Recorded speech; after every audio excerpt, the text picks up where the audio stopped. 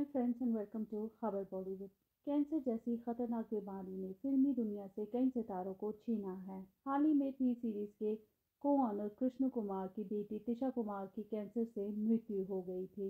अब कैंसर की वजह से मराठी सिनेमा के जाने माने अभिनेता विजय कदम का भी निधन हो गया है। विजय कदम सिर्फ़ सड़सठ साल के थे।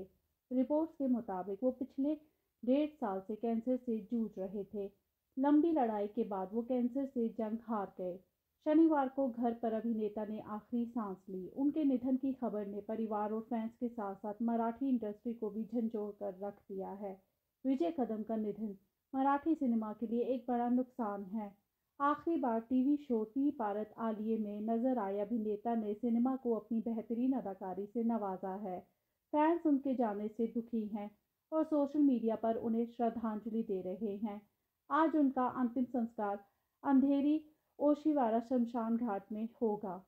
मराठी सिनेमा में कभी विजय कदम का जलवा था। उन्होंने अस्सी के दशक में बतौर थिएटर आर्टिस्ट अपना करियर शुरू किया था।